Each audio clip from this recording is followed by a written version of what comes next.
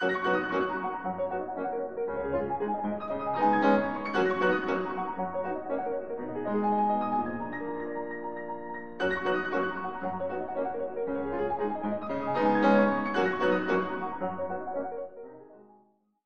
good afternoon. Uh, remember uh, we had done area moment of inertia. Uh, so, what I am going to cover now is the mass moment of inertia. Uh, remember so far in you know uh, dynamics we have solved problem involving particles. So, now for tomorrow actually what will happen you are going to solve problems involving rigid bodies. So, basically rotational motion of rigid bodies will come into play. So, therefore, uh, we have to understand the mass moment of inertia that comes uh, into play for many engineering problems that involve rotational motion of rigid bodies.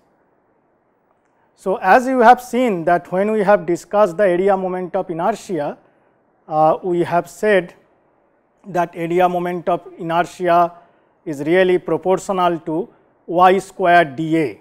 Okay. So, it is dA multiplied by distance square from the axis.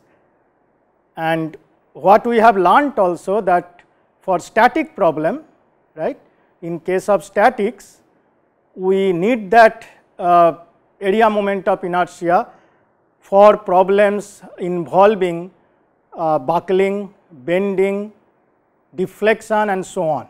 However, we have not really looked at I when it came to the static problem uh, solving the forces, but in strength of materials type of application we mostly try to look at I that is the area moment of inertia. However, in dynamic problem mass moment of inertia will naturally come into play when we think of that a body is trying to rotate about some axis. So, what happens in this case we can think of in a from a very simple perspective. So, look at this let us say I have a particle of mass delta m very small mass delta m. Let us say this particle is trying to rotate about the axis a a prime. So, essentially let us say this particle is attached by some arm of again very small mass compared to this mass and what I will try to do I will simply try to give it a couple. So, I am giving it a moment therefore, what comes to an, our mind is that this particle will try to rotate with a angular speed and therefore, it will have an angular acceleration. The main thing that comes uh, into our mind is that what will be that angular acceleration? That will really depend on the distance from this axis as well as the mass of this particle. Okay. So, it will basically if you look at it that when we go back to the Newton's second law then we see that moment right is equals to i times alpha. So, that is rate of change of angular momentum and therefore, this r square m that comes into play. Okay. If we think of in other way that okay, I have an angular speed that means angular rotation is there. Therefore, I have a, a velocity that is r uh, theta dot right. So, therefore, if we look at it I will have r theta double dot that will be my acceleration right. Therefore, a little force can act here that is m r theta double dot. If you take a moment of that force right that will be m r square theta double dot that will act on this axis. Now, therefore, m r square that is going to be the mass moment of inertia. Okay. So, what it is doing basically as we see here that it is really trying to put some resistance to the motion. So, therefore, if we think of a rigid body, a complete rigid body instead of a particle, now rigid body will be composed of small small masses, right. Now, each of these particle will therefore depending on their distance from the axis they will try to put the resistance and that resistance will be r square multiplied by delta m. So, if you think of small small particle each one will produce an resistive you know resistance effect that resistance effect is going to be I. So, I will be finally equals to r square dm which we call the mass moment of inertia. So, it is basically the tendency to resist the angular motion about an axis about which the body is trying to rotate. Okay. So, now you think of if I calculate the r square dm for the entire body about an axis, now we can also get the radius of gyration by saying that entire mass is located at some distance k right. Therefore, now we have i equals to k square m. So, again what it is doing it is telling me that there is a resistance coming into play in the form of k square m. Now, depending on wherever or which rather about which axis it has more k square over m, it will it is going to produce more resistance about that axis. So, logic is going to be the same as we have done for the area moment of inertia. Okay. So, again I have the instead of area moment of inertia I have now mass moment of inertia the form also looks similar. So, it is r square dm again I have a radius of gyration which is square root of i over m where i is an arbitrary axis about which the body is trying to rotate. So, i is uh, mass moment of inertia about that arbitrary axis a a prime. So, with this now what we can do we can simply look at that if we really look at a coordinate axis that coordinate axis is defined by x, y and z right. Now, I want to calculate what is the mass moment of inertia about each of these axes right. Then we can do integral. So, for example, let us say about y axis what is the mass moment of inertia that will be r square dm where dm is this small particle right that we are looking at. Now, look at what is r. So, r would be remember the r is this distance that is the perpendicular distance between these two axes right which is nothing but x square plus z square. So, r square is now x square plus z square multiplied by dm and we have to integrate uh, over the uh, volume let us say in this case. So, to get the mass moment of inertia about the y axis. Similarly, if we do mass moment of inertia about x axis, then remember it will be again r square dm, but the uh, coordinate of this particle if we look at then it has to be y square plus z square right.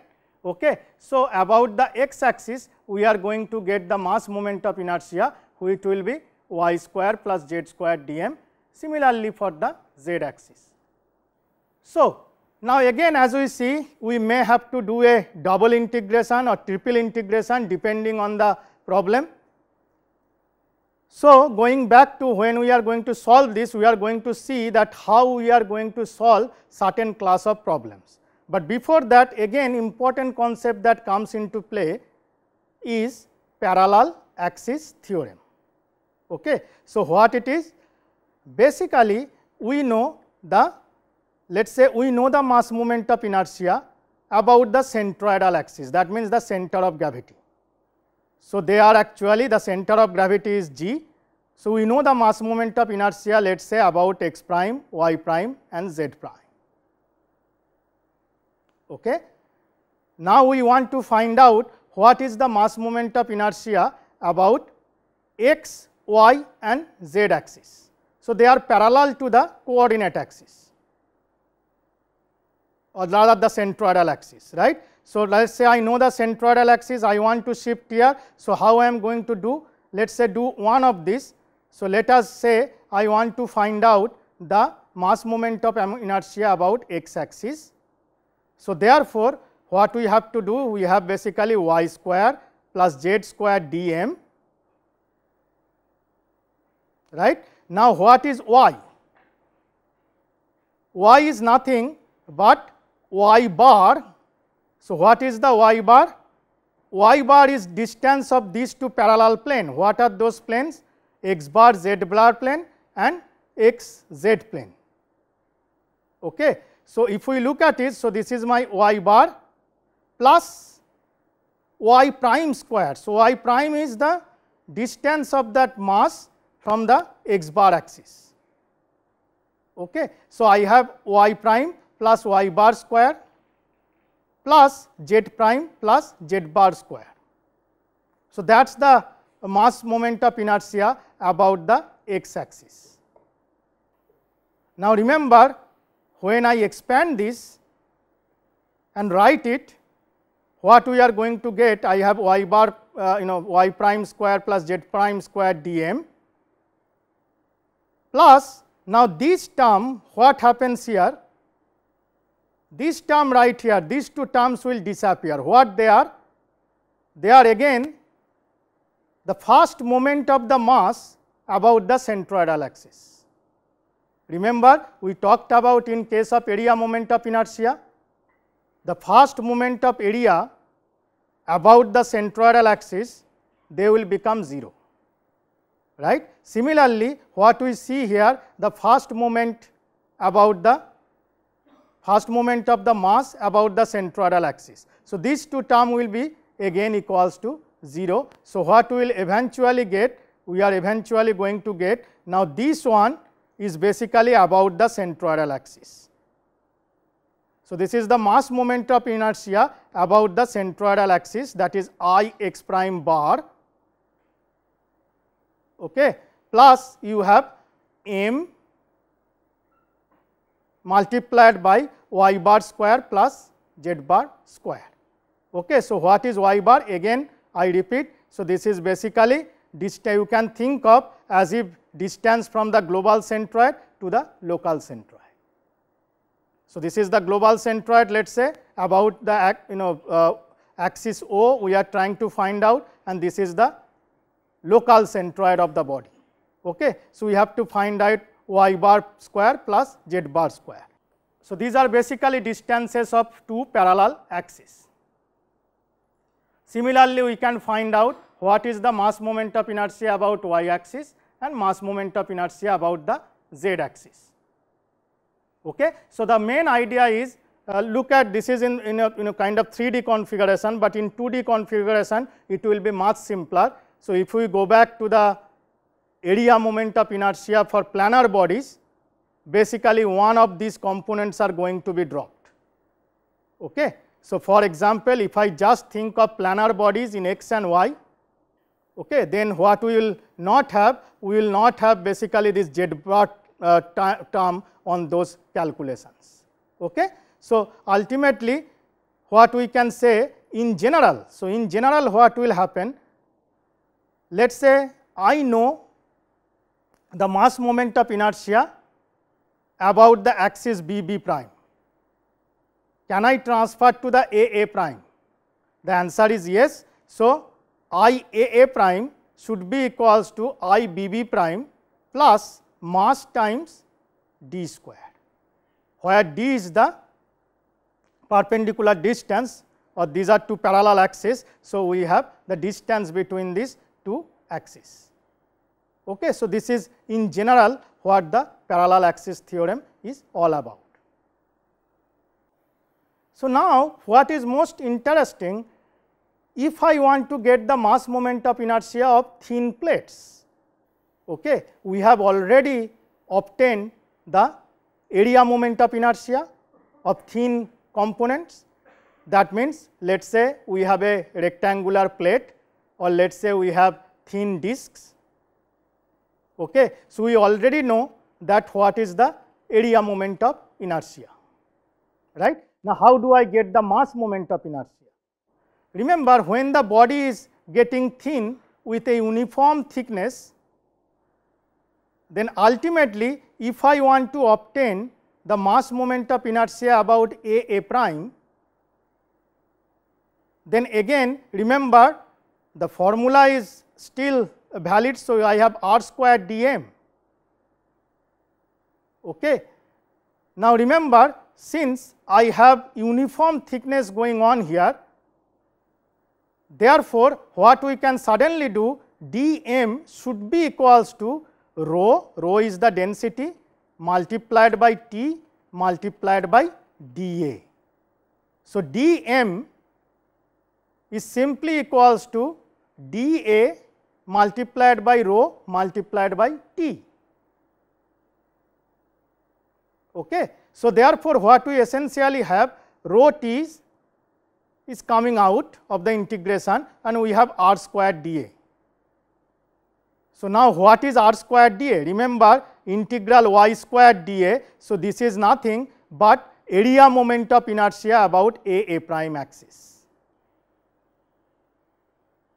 So, if I can calculate the area moment of inertia about a a prime axis, I will simply multiply that by density multiplied by thickness rho t to get the area moment of inertia. Now, the problem is very very simple because I already know how to get the area moment of inertia. So, for thin components it is going to be very simple as if we know all the answers. But when it actually forms a volume then we have to really work on r square dm integral and that we are going to see. So, similarly, let us say I want to get the mass moment of inertia about b b prime axis. So, what will happen? I will again have rho t i b b prime of the area. So, area moment of inertia of this plate has to be calculated with respect to b b prime axis and we know how to do it already. Finally, what would be my moment of inertia, mass moment of inertia about the C C prime axis that means body, body is now rotating about C C prime axis. So, what is the mass moment of inertia? Remember we talked about the polar moment of inertia. Polar moment of inertia that came under the area moment of inertia that was nothing but I x plus I y. So, basically we have I a A prime plus I B B prime that is going to be polar moment of inertia right which is J C of the area. So, we did that in the very first day.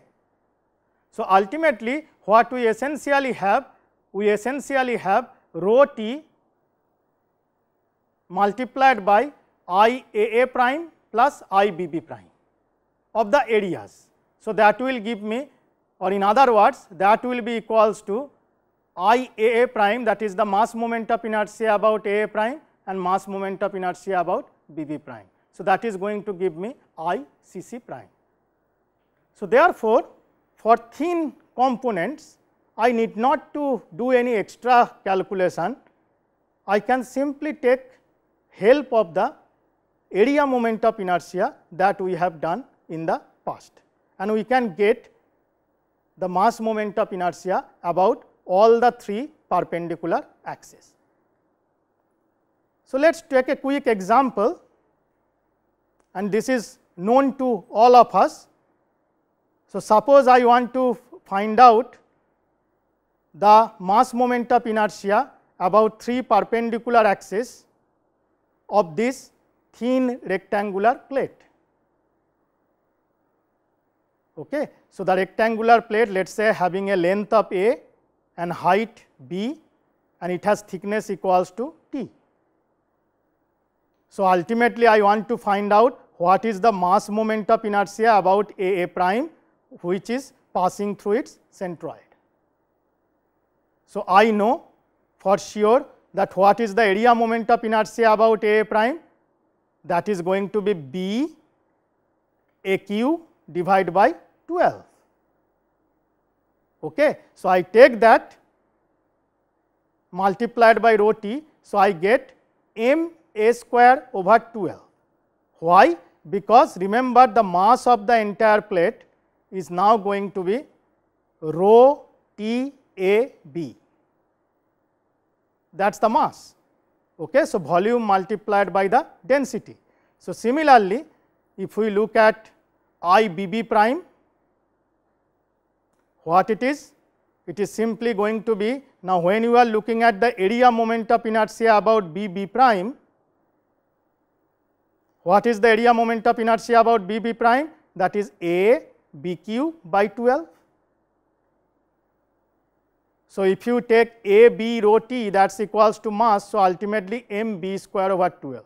Now, it is following a nice pattern that pattern is mass moment of inertia about a a prime that is actually m a square over 12 that means the length which is perpendicular to the a a prime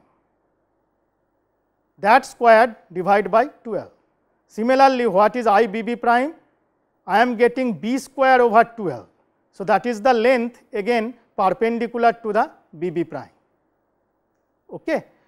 So, what is I c c prime is simply going to be sum of these two which is nothing but m by 12 a square ball plus b square. And we are going to see this very often tomorrow during the planar motion of rigid bodies.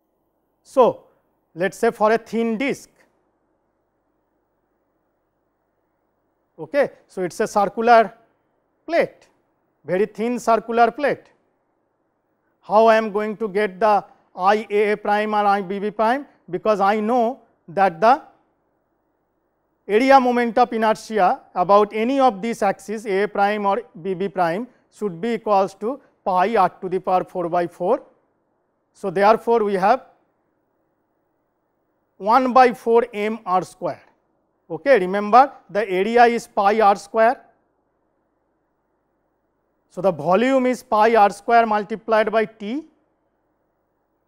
Therefore, the mass is volume multiplied by the density. So, we have to factor that. So, rho T pi r square if I take that that will be mass okay, that is the m total mass of this circular plate.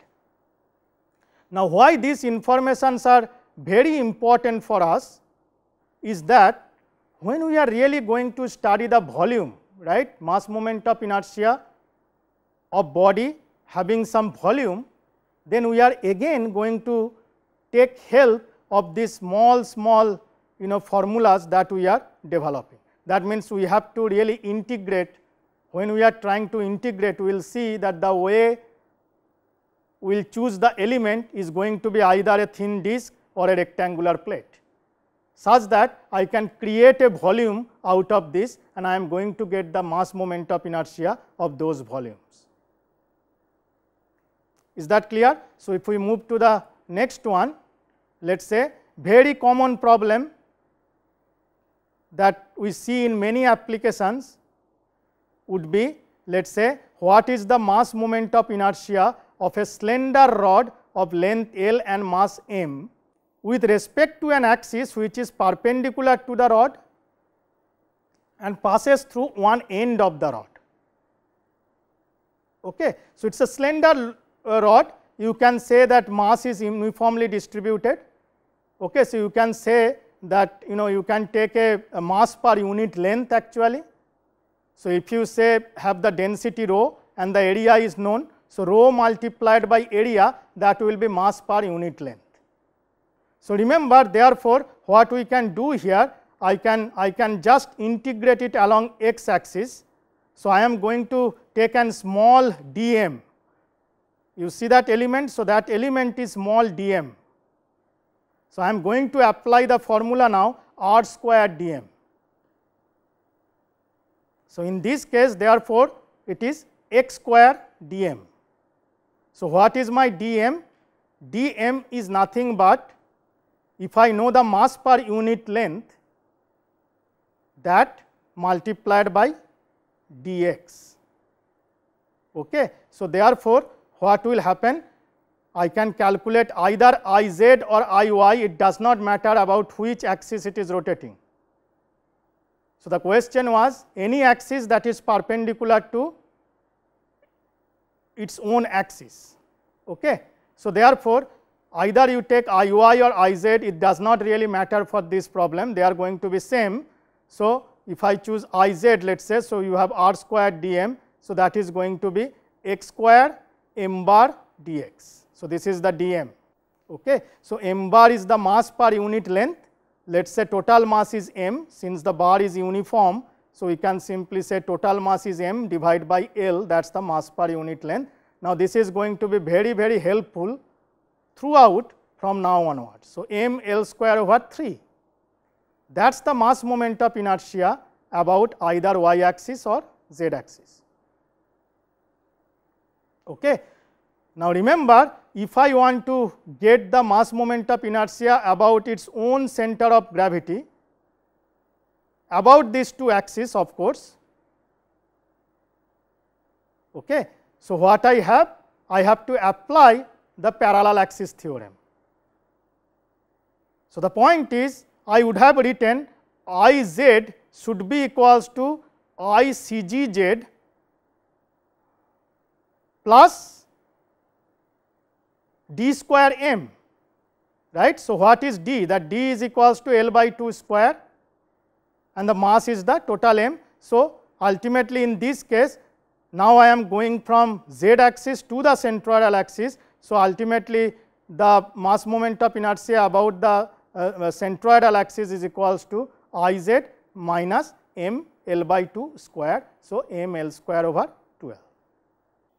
Okay. So, both are going to play a very very important role when we look at the rotational motion of rigid bodies. So, for example, you know sometimes you may see some kind of pin connection here and body will try to rotate about the pin or you will maybe find that there is some pin connection at the end body will try to rotate about that point.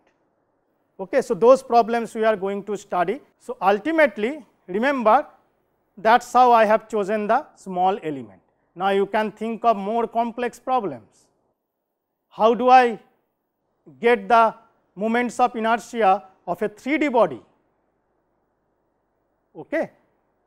So, that is our final objective because some of the same shapes we always encounter. For example, it could be a rectangular prism that means a rectangular block that is one thing. It could be a cylinder that is other thing. It could be a cone and it could be a sphere. So, for all of these we really want to find out what is the mass moment of inertia about the three perpendicular axes passing through the center of gravity. So, let us look at how we are going to solve that class of problems. Usually the bodies that we are trying to examine they will have symmetry about two planes. For example, this shape has symmetry about what are the planes it is exhibiting the symmetry x y plane or xz plane. So, if the body exhibits symmetry about these two planes, then what we can do suddenly, we can actually instead of doing a triple integration or even double integration, we can actually resort to just a single integration. Now, how that is possible? That is possible by choosing a thin slab perpendicular to the planes of symmetry. You see this thin slab will be chosen that is a disc, thin disc of length or thickness dx. So, dx is going to vary along x and remember that this you know its surface is go always going to be predicted by some xy function that we always know. So, we can basically analyze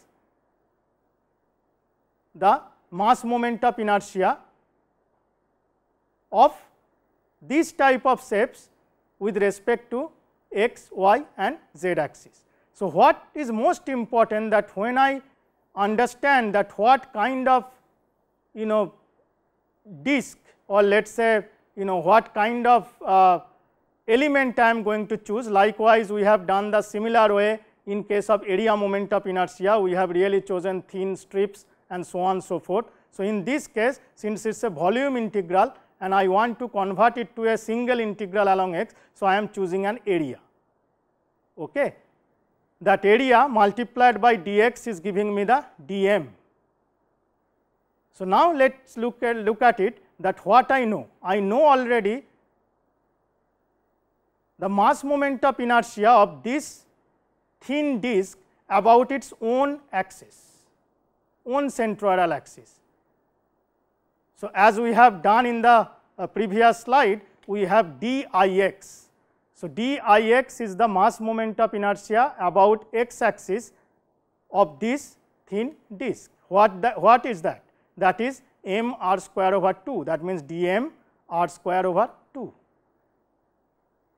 Okay. Now, similarly, I also know what is the diy prime that means when the thin disk is uh, trying to rotate about the y prime axis. So, what is diy prime? We have done that. We have already done in the previous slide if I go back right. So, that is going to be m r square over 4. Okay.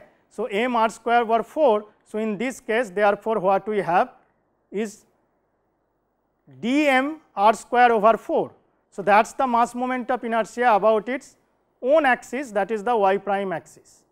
Now, I want to find out what is the mass moment of inertia about other axis which is y axis here. So, therefore, I apply the parallel axis theorem. So, the parallel axis theorem will be d i y prime plus x square d m. Okay. So, ultimately we have dm r square by 4 plus x square dm. So, as if I am looking at i y prime plus m d square. So, that d square here is x square. Similarly, what is my d i z? d i z is simply d i z prime plus again x square dm. So, m d square. So, once I know this and I know what kind of shape it is, I need to now know the mathematical function involved to define r. Let us say I have to now define r with respect to x or some other parameters that is given. So, once I know that what is the r in terms of x, I can simply integrate it from 0 to some length. Okay. So, that is how the procedure goes in case of a 3 dimensional body. So, let us look at to start with a very simple sim example find the mass moment of inertia of a rectangular prism or rectangular block. So, the rectangular block has a length a, breadth c and height b. So, the total volume is a b c and the mass is rho times volume. So, that is known. So, therefore, the answer that I am expecting let us say I am trying to calculate what is I z.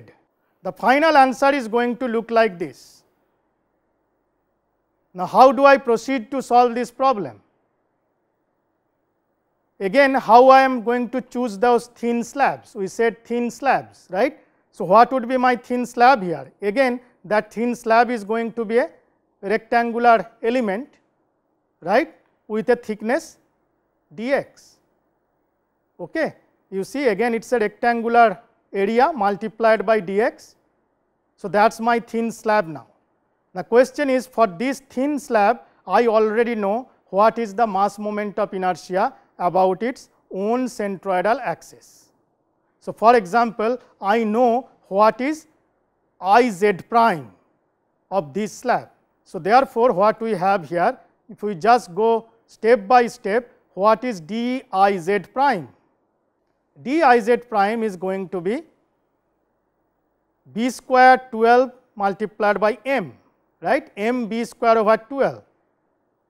Remember I we already studied that for a rectangular area if I want to find out about the z prime axis it is always going to be b square by 12 b is the perpendicular you know length with respect to the z prime axis. So, m b square over 12 would be the mass moment of inertia of this thin slab. Okay. So, therefore, now uh, it is very simple. So, ultimately we have to transfer this d i z prime to i z. So, I want to find out i z. So, what is d i z is equals to d i z prime plus x square d m. So, m d square. Okay.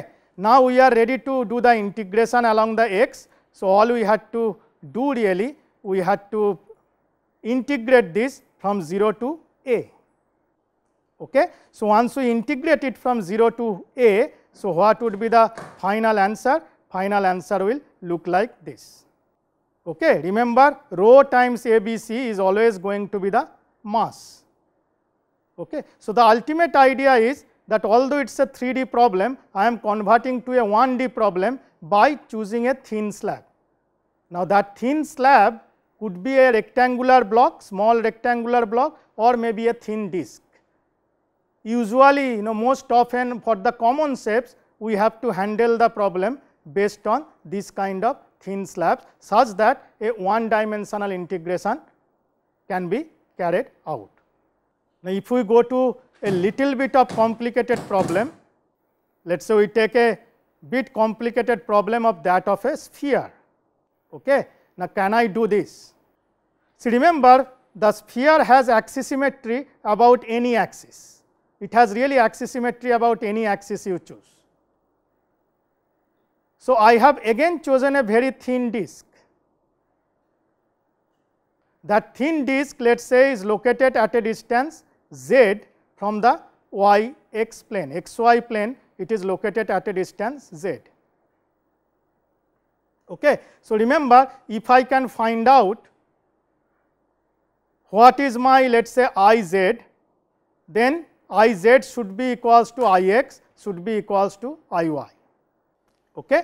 So, now we know that what is the I z of this thin disk. I z of this thin disk is nothing but m r square over 2 so, that means dm y square over 2. Again I am simply trying to operate it along the z axis. So, I am my integration limit will go from minus r to r and I have to integrate uh, you know with respect to the dz. Okay. So, now let us look at what is my dm, dm is nothing but rho dv.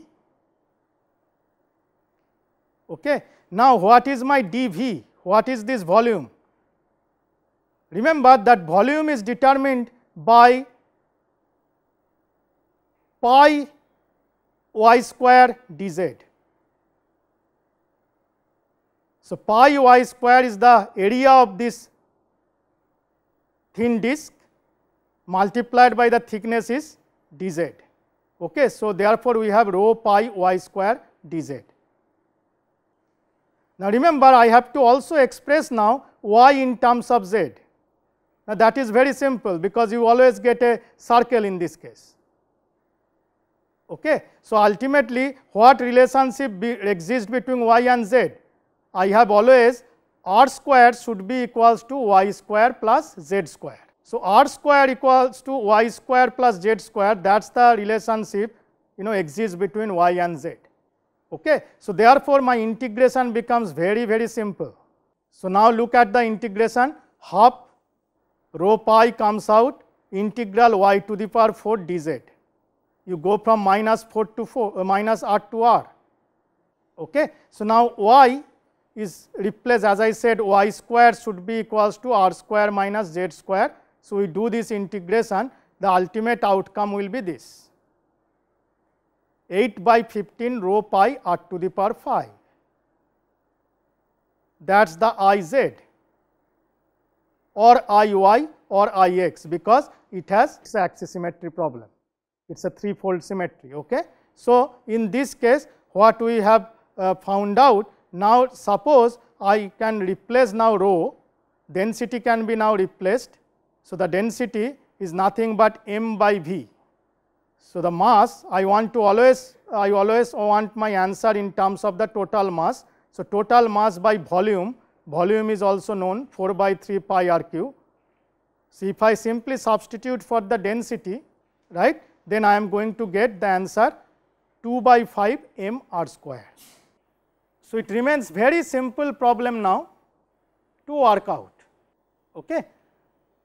So, if we understand that I have to always take this thin disc or let us say rectangular you know elements or thin slabs, then we can always perform this integration in one direction. So, what we have really studied, I have looked at remember with the concept that is developed, we have learned how to find out the mass moment of inertia of these kind of shapes with respect to its own centroidal axis. In fact, now we can look at any other axis because any other axis can also be obtained by using the parallel axis theorem.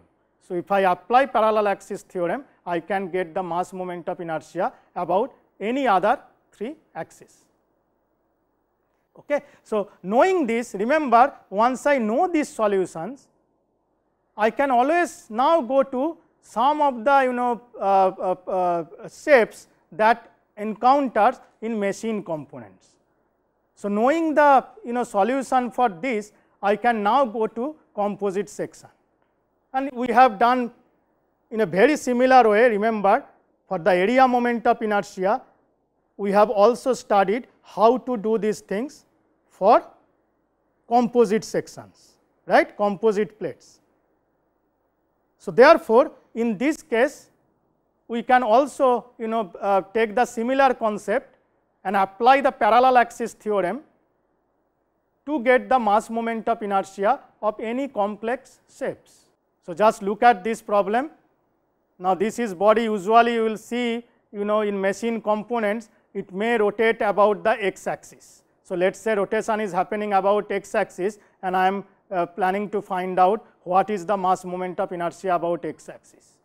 Similarly, I can also find out what is the mass moment of inertia about y and z axis.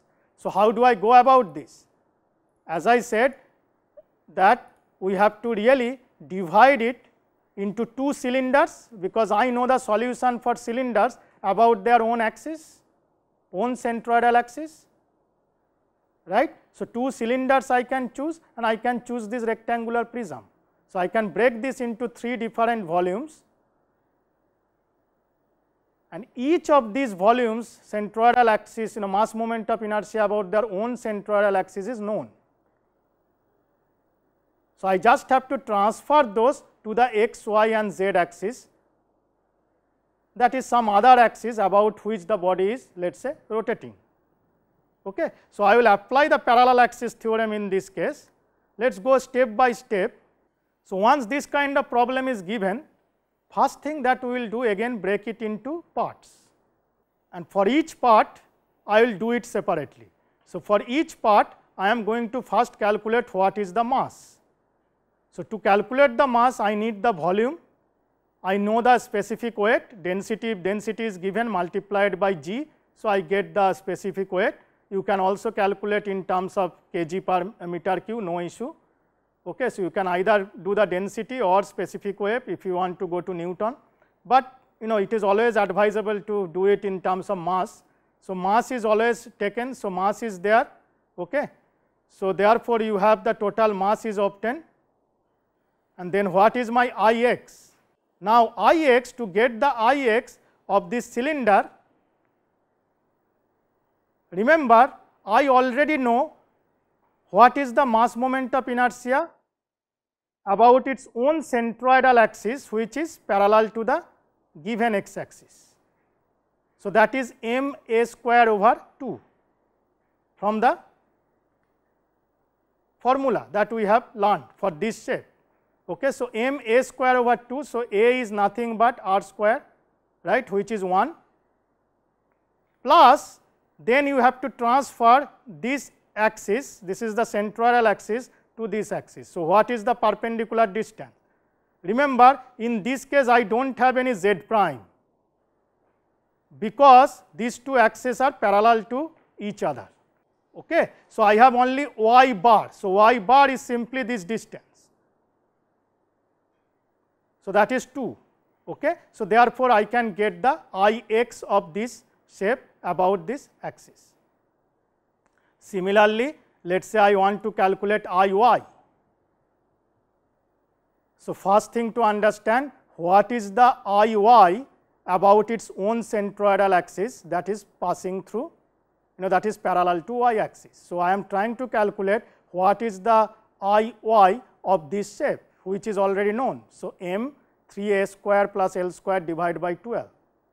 Now, again we have to transfer this. So, apply the parallel, parallel axis theorem.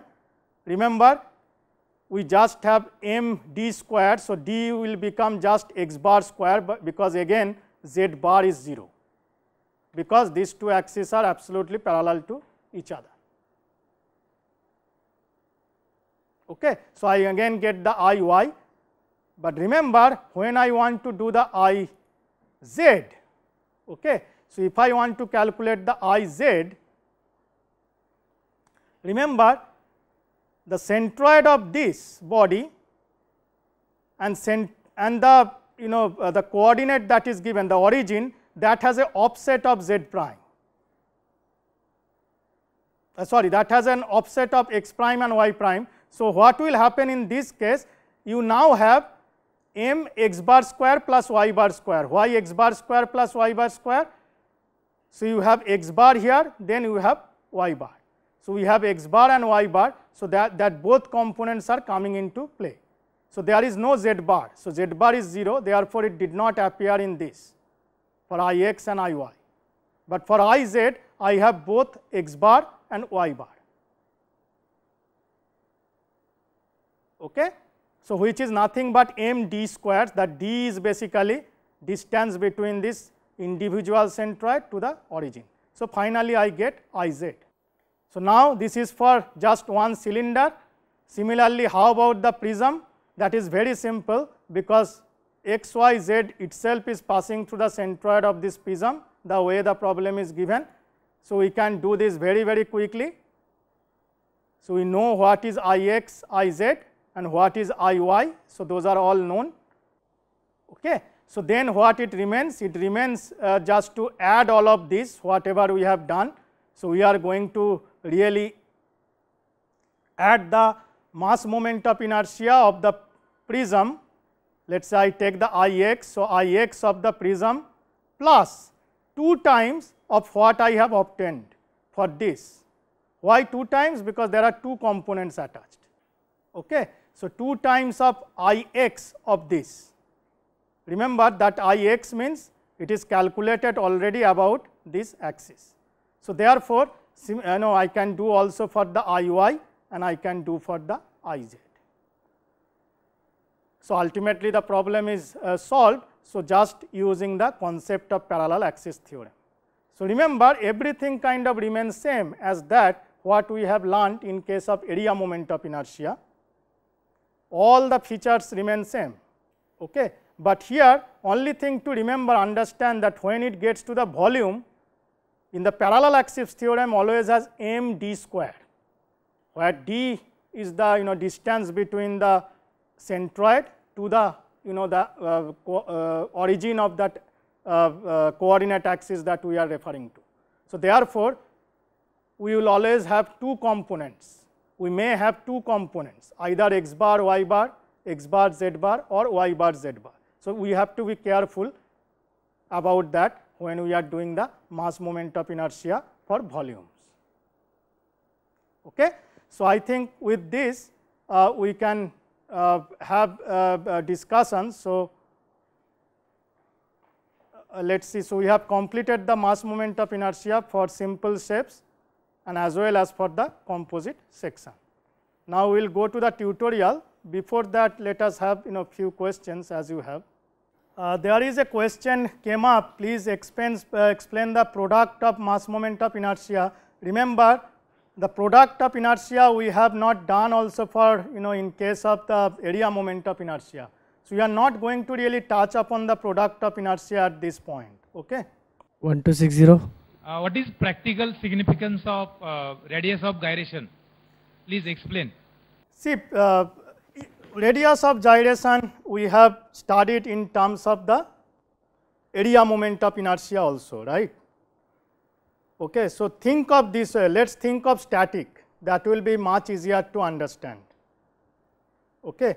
Okay, I am taking something that I have in my hand, uh, just excuse me for that. Let us I take a body, this is my body. Okay. I am trying to understand, think of this is kind of long and let us say it is a column. Okay. Now, I am trying to apply a load and I am trying to understand which way it will buckle. So, buckle means it will tend to bend this way or that way. So, what radius of gyrations helps me understand is which way it is trying to buckle first. Can you tell me from this which way it will try to buckle? See it is always square root of i over a, right? And what we assume that mass, uh, sorry the area, let us say area is concentrated at a you know a certain distance, right?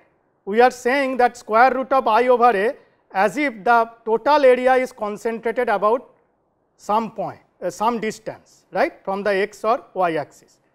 So, if you calculate what it immediately tells you that it will have tendency to buckle about this axis. Okay, so it will have always higher tendency to buckle about this axis compared to if you choose this axis, it will have more resistance to buckling. Remember, this is always going to be square root of i of there is a competition between i and a. Now, area is constant in this case, right? Area is same. So, which way you have the more i, there you are going to get the less you know, uh, more resistance. More I means that is that direction is always going to give you the more resistance. So, I am always going to get a more resistance about this. Similarly, very similar way if you think of the mass moment of inertia, okay. So, again if you think of 3 axis, right, which way it is going to give you more resistance. So, it is basically which way it is going to more resistance that has to come in natural sense. Okay. So, it is basically dictating which direction it has, it is going to give me more resistance. So, in static problem it is bending, static problem it is bending, but in uh, dynamic problem it is rotation. Okay. Yes. Area is irregular shape. Then uh, uh, how we will take that the area is squeezed it is at some distance from reference axis. From. And what is its a practical significance? See, there are practical. That is what I am trying to understand. You, you, if you just try to visualize it, it is very difficult. You have to do some computation. That computation is square root of i over a, and I can't help it. You have to do it. Okay. After doing that computation, you immediately know that what is you know which direction you are going to get the more resistance. Visually if you have a irregular shape it is very difficult, but if you have a regular shape like the way I have eh, you know shown this problem it is very easy to understand which way it is going to give me more resistance either to buckling or either to rotation. Is that clear? Sir, you defined last time moment area moment of inertia as resistance to bending and then you also said it resistance to bending and resistance to deformation. But if you look at that expression m by i is equal to sigma by y, there stress is equal to m by i into y. That i term is a constant even you take stress at the top or neutral axis wherever. So if it is resistance to deformation, so that value should vary according to the position. Better what? See your question is, is it really resistance to deformation or resistance to bending, right. See ultimately what you are doing here, see remember m is proportional to y square dA, right. Why it is moment of inertia first of all, why it is moment. moment is proportional to y square dA. Now, remember if you think of even a bending problem, right, ultimately what is that bending moment?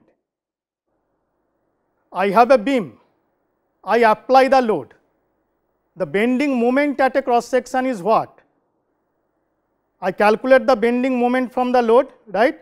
So, that bending moment is balanced by the y square dA effect, right. So, ultimately we say it is a internal moment, internal moment on a beam. So, ultimately it is coming through bending. So, I have in both if you look at the deformation as well as bending I is always coming down in the denominator. Sigma equals to my over i. You think of bending it is let us say cantilever beam with a tip load P. You have P L cube over 3 EI that is the deflection. I is always coming at the bottom. No question about it. And remember bending is leading to deformation it is the bending that is causing the deformation. Those are both are interrelated so don't mix this mix them up. But ultimately what is happening in both cases right? Y square dA is the moment that is controlling the both. Because if you look at the deflection equation ei d2v dx2 equals to mx that is how your problem start. Right? Your problem start really ei times curvature equals to m isn't that so that m is always y square dA is that clear now? Okay. So it's the same. I mean meaning see unless otherwise you have bending you can't have deformation also. So it is always y square dA okay. Uh, one more question. A block is kept on a horizontal plane. How to achieve constant velocity? your question is how to achieve constant velocity i have no answer i mean uh, somehow you have to apply the forces you do if you don't have friction force right uh, then you know it is it is not going to be I think it is very challenging how to achieve the constant velocity. Mm, see at the first part you know first part you may have different resistance, but ultimately ultimately what you have to do the resultant force equals to 0. Ultimate what is is the resultant force if I can show that is equals to 0 right? It will achieve a constant velocity right. Think of this way. Uh, let us say you go to the shopping mall right? You have those carts. In the shopping mall we have the carts right? And on below you have wheels right? And I do not know if that problem was studied in friction actually. What happens that you have those wheels comes with some kind of locking mechanism. Okay. So, when you push the cart let us say one problem could be you push the cart right wheel is locked and wheel is on wheel is unlocked. When wheel is unlocked and once you actually you know uh, uh, let us say your friction barrier is gone you can actually go under a constant velocity.